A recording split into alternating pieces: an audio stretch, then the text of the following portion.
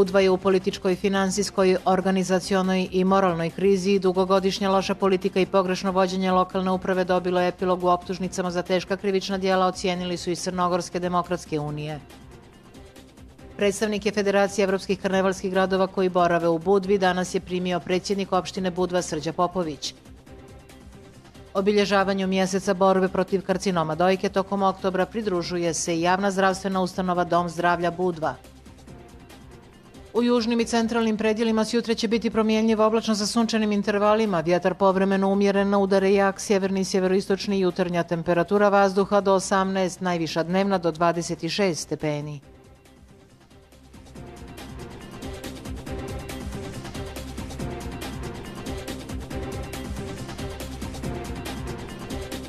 Poštovani gledalci, dobroveče iz studija televizije Budva. Pratite dnevno informativnu emisiju Polis. Moje ime je Tanja Čučuk. Službenici Uprave policije Centra bezbjednosti Budva preduzimaju intenzivne mjere i radnje na rasvjetljavanju krivičnog dijela ubistvo počinjenog na štetu JJ 35 godina iz Budve, saopšteno je iz Ministarstva unutrašnjih poslova. Kako je navedeno dežurnoj službi Centru bezbjednosti Budve je juče 27. septembra oko 10 sati i 40 minuta prijavljeno da se u mjestu Paštorovska gora nalazi parkiran automobil marke Renault Scenic budvanskih registarskih oznaka u kojem se nalazi beživotno tijelo JJ. Po prijemu obavještenja o događaju upoznat zamjenik Višeg državnog tužioca u Podgorici, a na licu mjesta je izvršen uviđaj kojim je rukovodio nadležni tužilac. Uviđajem su konstatovane povrede je je u predijelu glave, koje su najvjerovatnije nanijete upotrebom vatrenog oružja. Sa lica mjesta izuzeti su tragovi koji su upućeni Forenzičkom centru radi vještačenja. Po nalogu zamjenika Višeg državnog tužioca u Podgorici, tijelo je je transportovano na odjeljenju sudske patologije Kliničkog centra Crne Gore u Podgorici radi vršenja obdukcije. Zamjenik Višeg državnog tužioca u Podgorici je uzevši u obzir sve do sada utvrđene činjenice, krivično dijelo klasifikovao kao ubijstvo. Policijski službenici intenzivno rade na rasvjetljavanju događaja i identifikovanju počinioca ovog krivičnog dijela, saopšteno je iz Ministarstva unutrašnjih poslova Uprave policije.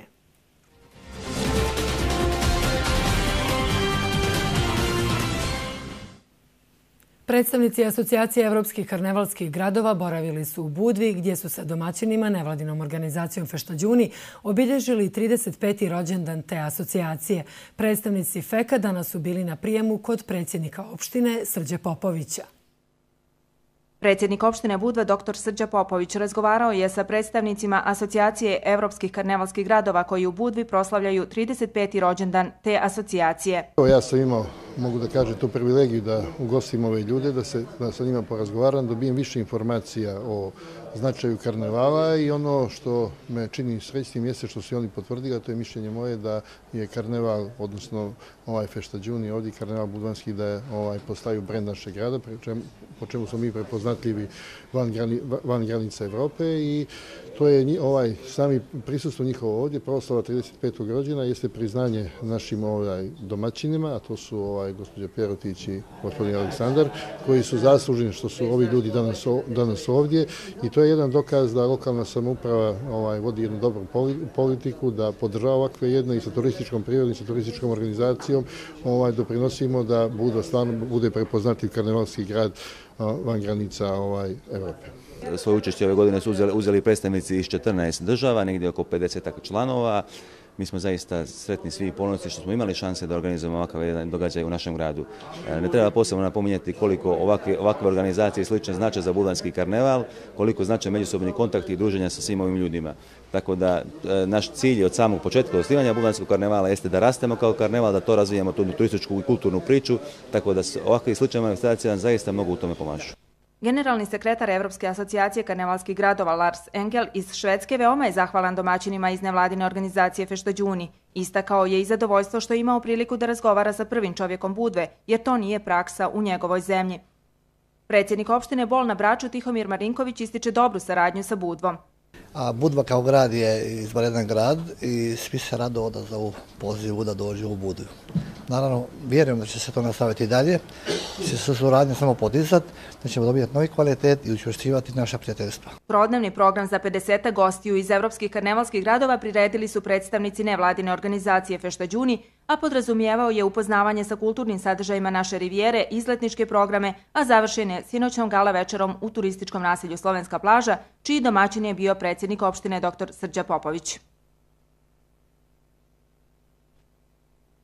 Iz elektroprivrede Crne Gore ističu da su budvani redovne platiše za utrošenu električnu energiju, te podsjećaju da je nastavljena akcija izmirivanja dugovanja iz prethodnog perioda, čiji je naziv Podijelimo teret. Svi potrošači koji su u septembru, odnosno oktobru 2013. godine potpisali protokole o izmirenju duga u 25 fiksnih mjesečnih rata od po 20 eura i ukoliko su ih do kraja poštovali, moći će da nakon raskida starog potpišu novi protokol. Samo u 2014. godini potpisano je preko 30.000 ugovora. Ove aktivnosti daju rezultate i da će vremenom doći i do postepenog opadanja ukupnog duga za utrošenu električnu energiju za potrošače u Crnoj Gori. U nekim gradovima, dakle, bilježimo već diskretan pad duga za utrošenu električnu energiju za domaćinstva. Iz elektroprivrede naglašavaju da su budvani redovne platiše faktura za utrošenu električnu energiju. Ako se uzme u obzir cifra od 400 eura, koliko iznosi e, prosječan, e, prosječan dug e, domaćinstva za utrošenu električnu energiju na nivou Crne Gore, prosječan dug budvanskog domaćinstva iznosi oko 140 i 5 eura.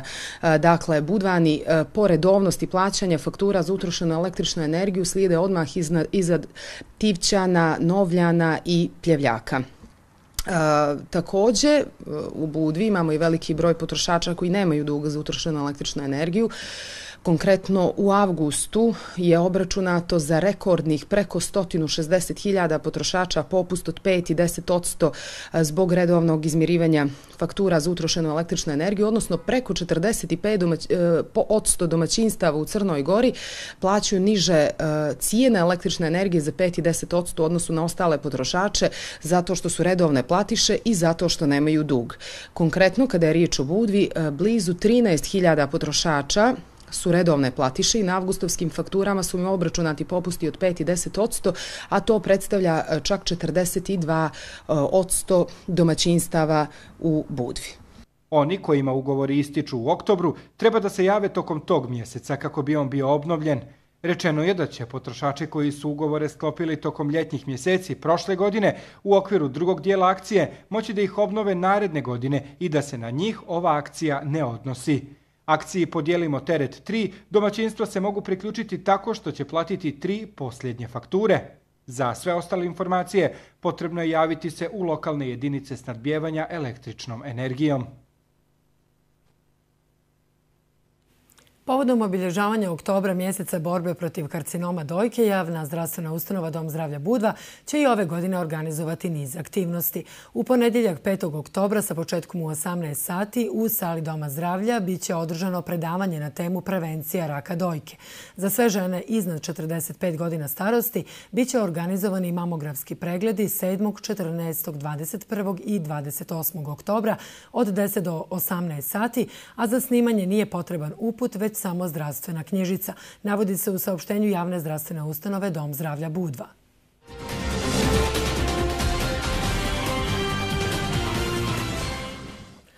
Budva je u političkoj, finansijskoj, organizacijonoj i moralnoj krizi i dugogodišnja loša politika pogrešno vođenja lokalne uprave dobila epilog u optužnicama za teška krivična dijela, ocijenili su iz Crnogorske demokratske unije. U postojećoj situaciji odgovorni politički subjekti, političke stranke, nevladine organizacije i pojedinci imaju političku i moralnu obavezu da učine sve što je potrebno da bi se povratilo povjerenje građana u institucije lokalne uprave i u demokratski proces, navodi se u političkoj izjavi o Budvi koji je usvojio glavni odbor CDU. Podsjeća se da je CDU sa opštenjima i izjavama članova rukovodstva i u komunikaciji sa građanima saopštio principijalni stav da je potrebna izrada jednog sveobuhvatnog sanacionog programa za oporavak grada i opštine. Taj program, kako smatraju, treba da stvori osnovu za spriječavanje daljeg propadanja i urušavanja i da otvori mogućnost za obnovu budve. Iz CDU navode da će to biti dugotren proces koji će zahtjevati koncentrisan napor i saradnju svih koji svojim znanjem i spremnošću za politički stručni angažman žele da doprinesu vraćanju budve i cijele opštine na mjesto koje ju Crnoj Gori pripada, ne samo u oblasti turizma. Oni ocijenjuju da je sada jasno, bez obzira na argumentovane i opravdane zahtjeve da se organizuju prijevremeni izbori, da će se nova stara vladajuća struktura opredijeliti za odlaganje tog potrebnog čina sve do kraja mandata do oktobra 2016. godine. U CDU su kazali da shvataju činjenicu kao potvrdu potrebe da se politička aktivnost usmjeri prije svega na pripremu u organizacionom i kadrovskom smislu za izborne aktivnosti. Kada izbori dođu, CDU će ponuditi svim građanima Budvanske opštine i svim političkim partnerima sanacioni program, koji će pored ostalog biti utemeljen na ideji poruci svim građanima grad čine ljudi. Vratimo našoj Budvi cijeloj opštini dostojanstvo, standard, poziciju i vrijednosti koje ona zaslužuje i koje zavređuju svi koji u njoj žive, poručili su iz CDU.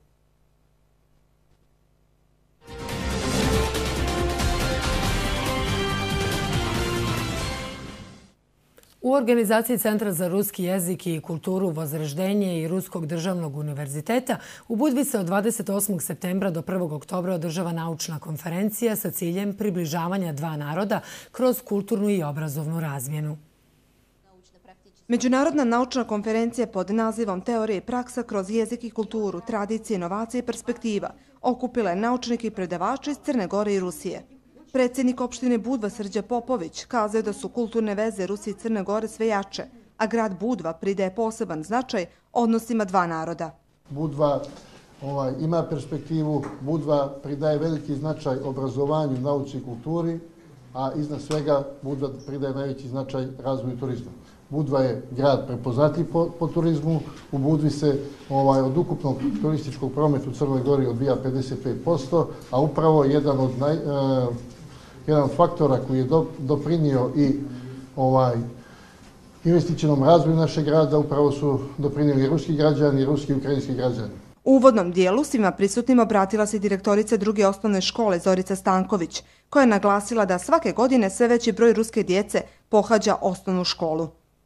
Međunarodni projekat je način da se ruskom narodu približi duh i tradicije stare Crne Gore, a Budva postoji naučni centar – ocjene profesora doktora Radoslava Raspopovića. Za grad Budu to može da znači jednu novu afirmaciju e, u smislu da on postane centar naučnog turizma u većem stepenu nego što je bio do sada ili nego što je možda sada, ali u svakom slučaju valjalo bi ovakve sa vazdaždenjem i sa još drugim e, univerzitetima. Cilj naučne konferencije je promocija kulture, običaja i tradicije Crne Gore kod pripadnika ruske populacije. I mi Dakle, smisao ove održavanja ove konferencije jeste da se izučava jezička kultura koja je, e, s obzirom se radi o dva naroda koja su jako bliska i imaju iste istorijske korijene e, i da jezik bude dakle, tačka koja spaja. U okviru Međunarodne naučne konferencije država se internacionalna debatna akademija, a sve u organizaciji Centra Logos i Ruskog centra za kulturu Vozraždenje. Festival informatičkih dostignuća InfoFest, čiji su organizatori Ministarstvo za informacijono društvo, telekomunikacije i kompanija Business Link iz Beograda, otvoren je sinoć u hotelu Maestrali trajeće do 3. oktobra. Festival je otvorio potpredsjednik vlade i ministar za informacijono društvo i telekomunikacije Vujica Lazović. Iz ministarstva su podsjetili da je festival informatičkih dostignuća najznačajnija manifestacija ovog tipa u regionu, a odlukom Crnogorske vlade proglašen je manifestacijom od državnog značaja. Infofest je već godinama najznačajnija regionalna manifestacija iz oblasti informacijonih i komunikacijonih tehnologija, koja svake godine zabilježi više od hiljadu pojedinačnih učesnika, predstavnika javnih preduzeća, državnih organa, obrazovanja, finansijskih institucija, sektora energetike, telekomunikacijonih operatera i drugih velikih privrednih sistema. Ova konferencija po 13. put u okviru Infofesta e, održava se i ona ima temu širokopojasnog pristupa i regulatornih mogućnosti u tom pogledu kako bi širokopojasni pristup bio dostupan korisnicima.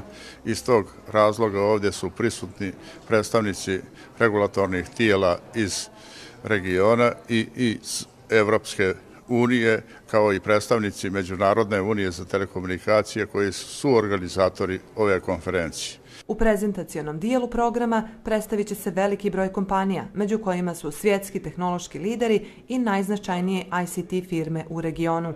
Pored prezentacija novih projektnih rješenja, ICT kompanije će ponudu predstavljati i na svojim punktovima u okviru Infofest izložbe. Turistička organizacija opštine Budva nastavlja sa nastupima na najznačajnijim turističkim sajmovima u Evropi, tako što će turističku ponudu Budvanske rivijere predstaviti na turističkoj berzi AFTM Top Resa 2015 u Parizu, koja se održava od 29. septembra do 2. oktobra. Turistička organizacija Budve će sa lokalnim turističkim organizacijama iz susjednih gradova i predstavnicima turističke privrede nastupiti na štandu Nacionalne turističke organizacije Crne Gore.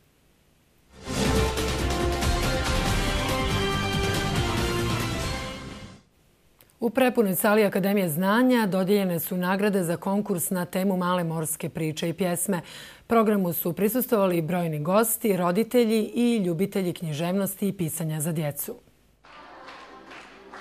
Drugi dječji književni festival Male morske priče i pjesme završen je dodjelom diploma učesnicima na konkursu.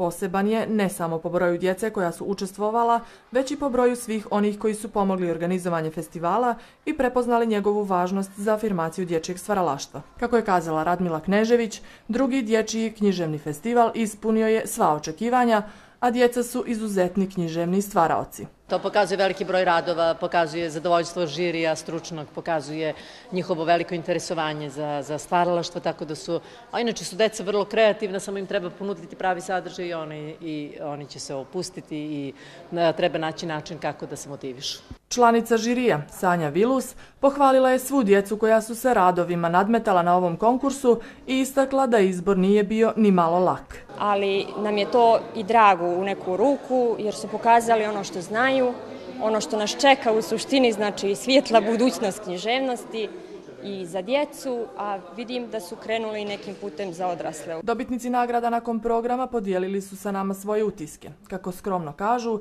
nagrade nisu očekivali, ali im svakako puno znače. Je li bilo teško?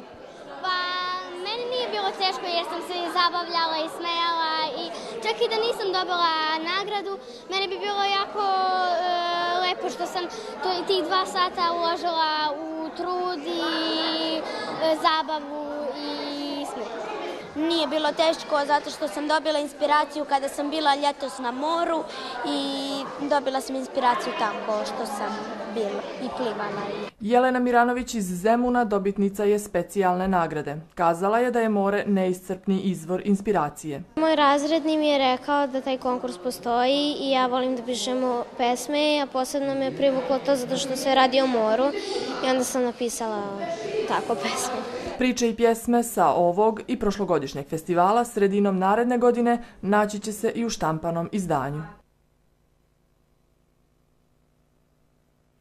Festival Zlatno doba nakon 50. projekta Godine za sreću biće održan od 9. do 18. oktobra u Budvi pod pokroviteljstvom Dukleja. Festival će biti prvi do sada jedini u svijetu veliki događaj posvećen novom, lijepom periodu života i odvijeće se pod sloganom Ovo nije jesen, ovo je proljeće. Radovati se u životu, biti zdrav, raditi i zarađivati, pronaći svoju individualnost, uživati u ljubavi, ostvariti svoja maštanja, učesnici festivala o svemu tome slušat će tokom predavanja, radionica i individualnih konsultacija.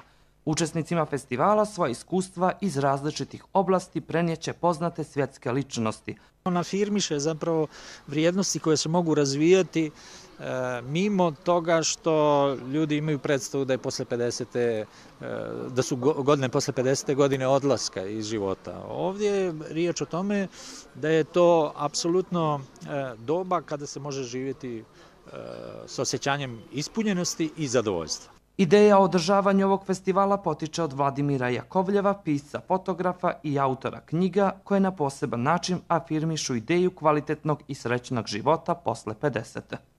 Biće naravno i e, sasvim logično organizovan i niz događaja i manifestacija koje idu ka onome što možemo nazvati uživanje u tim godinama, dakle bit će žurke, večerinke, večernje sjedeljke, bit će organizovane turističke ture, penjanje uz planine, uživanje na jahtama i u moru i tako dalje i tako dalje.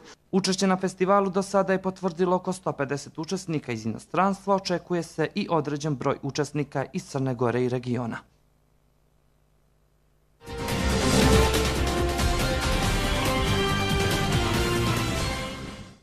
Minuli vikend u Budvi obilježila su sportska dešavanja. Održano je treće kolo Crnogorske lige u podvodnom ribolovu, dok su futbaleri Mogrena odigrali prvi meč na domaćem terenu ove sezone.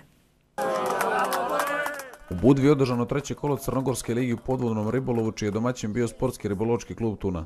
Kao što se očekivalo, najbolji rezultate su postigli domaći takmičari koji su zauzeli prva četiri mjesta i pehar za najtrofejni ulov. Prvo mjesto je zauzeo Božidar Grivić, drugo Srđan Zenović, treće Božidar Radonjić, četvrto Damir Deković koji je ulovio brancino 4 kg i šesto mjesto Nenad Franeta. Kao predsjednik kluba sam zadovoljan s obzirom da je ulovljeno dosta kvalitetne ribe, preko 22 kg orada, brancina, svega onoga što čini e, ribu prvo, prve grupe.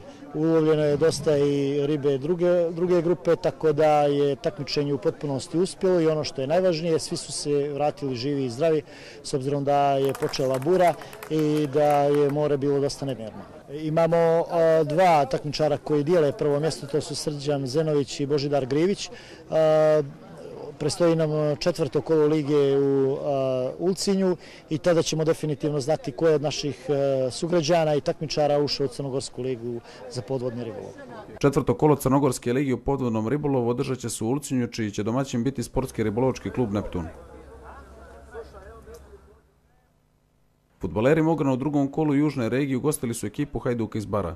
U utakmici u kojoj je viđeno čak 9 golova slavili su gosti rezultatom 5-4. Futbolski klub Mogren je još pod kaznom arbitražnog suda, što znači da u naredne dvije godine nemaju prava za napredak u viši rang. Teška utakmica, s obzirom da je situacija u klubu kakva je trenutna, mnogo teška, prepušteni smo sami sebe, borimo se skupljeni, ovaj, skupljenih mladih igrača, uz nas dva, tri iskusne igrača mnogo teško. Bila je prva utakmica u Radovića, mnogo teška, nije, nisu, nije nas bilo dovoljno u broju koliko treba da počne, se počne utakmica, tako da ovaj, prepušteni smo sami sebe. Praktično prvenstvo bez takmičarskog značaja, ali šta se radi, mladi igrači, ovo je za njih, može da se kaže, jedan korak u karijere, komisija da pravi karijeru, tako da ništa, okrećemo se sljedećoj utakmici, tako da nadamo se da ćemo biti brojni. U narednom kolu futbaleri Mograna gostuju ekipi Slogi i Starog Bara. U klubu Buđi Ninđicu Montenegro jednomjesečno biće organizovani seminari sa časovima samoodbrane, a sve u cilju smanjenja nasilja nad ženama. U Crnoj Gori je svaka treća žena žrtva nekog vida nasilja. Čak 92% građana smatra da ono postoji u porodici, zvanični su podaci odbora za rodnu ravnopravnost. Prema podacima Svjetske banke, žene od 15. do 44. godine više su u opasnosti od porodičnog nasilja nego od raka, saobraćenih nesreća i rata. Zbog velikog broja slučajeva napada nad ženama, sve veći broj pripadnica ljepšeg pola se okreće borlačkim vještinama koji su im jedini vid odbranbenog mehanizma jer svjedoci smo da se veliki procenat tih napada završava smrtnim ishodom. U Buđi Kamninđicu Montenegro klubu donijeli su odluku da jednomjesečno organizuju besplatno savjetovanje i seminar za žene koje će moći da nauče osnove samodbrane, jer prema riječima trenera Predraga Lazarevića za pomoć se obraća sve više pripadnica ljepšeg pola. Smatram da najadekvatnije žena može da zaštiti samu sebe e, i to je jedini vid e, odbrane koji je moguć znači, u, u kriznoj situaciji jer ona je uvijek sama sa sobom, tu je. Znači, ne možemo nikad biti mi tu da im pomognemo onako kako treba. Znači, e, još jedan razlog što sam se odlučio na tako nešto je veliki broj osoba koje su mi se javile da imaju probleme kroz brak i ostalo i čak i na ulici kada su veće gužve, kada je sezona i ostalo da imaju e, napade tih lica. I tako i riješio sam eto da jednom mjesečno, znači jedan vikend odvojim za sve pripadnice ljepšeg pola, znači bez obzira na godine, kao i za e, djecu svih uzrasta.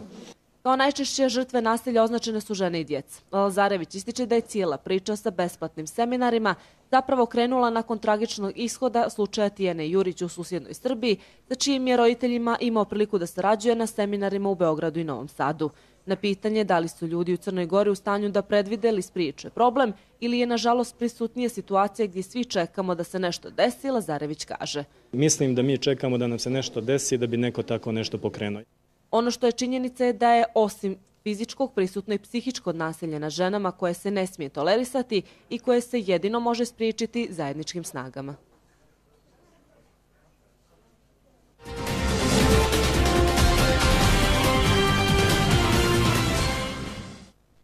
U južnim i centralnim predjelima s jutra promjenjivo oblačno sa sunčanim intervalima slijedi Meteo Bilten. Utorak će u većem dijelu Evrope biti pretežno suvo i sunčano, kiše, pljuskova i grmljavine biće na Mediteranu, na jugoistoku i ponegdje na istoku kontinenta. Najhladniji glavni evropski grad biće Helsinki sa 12 stepeni, a najtopliji Lisabon sa 28 stepeni. Na Balkanskom poluostrovu utorak umjereno do potpuno oblačno i hladno sa slabom kišom na istoku i jugoistoku sa lokalnim pljuskovima i grmljavinom. Maksimalna temperatura od 12 do 18, a u oblasti Jadrana i na jugu Grčke do 27 stepeni Celzijusa.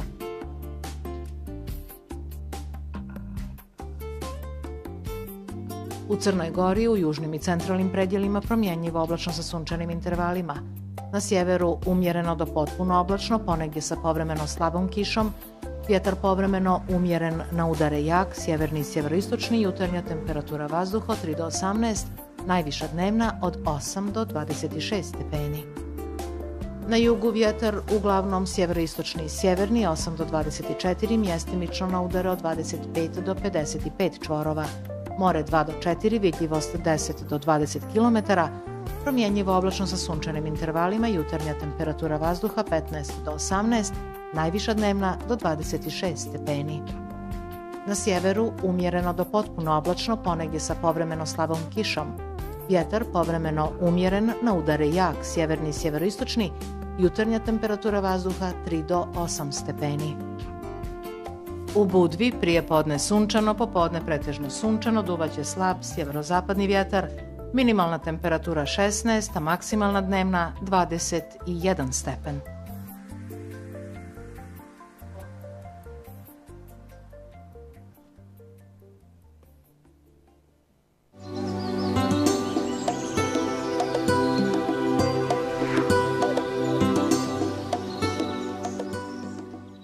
Slijedi podsjećanje na teme večerašnjeg polisa. Budva je u političkoj, finansijskoj, organizacionoj i moralnoj krizi dugogodišnja loša politika i pogrešno vođenje lokalne uprave dobilo je epilog u optužnicama za teška krivična dijela ocijenili su i Crnogorske demokratske unije. Predstavnike Federacije Evropskih karnevalskih gradova koji borave u Budvi danas je primio predsjednik opštine Budva Srđa Popović. Obilježavanju mjeseca borbe protiv karcinoma dojke tokom oktobra pridružuje se javna zdravstvena ustanova Dom zdravlja Budva. U južnim i centralnim predjelima sjutre će biti promjenljivo oblačno sa sunčanim intervalima, vjetar povremeno umjeren na udare jak, sjeverni i sjeveroistočni jutarnja temperatura vazduha do 18, najviša dnevna do 26 stepeni.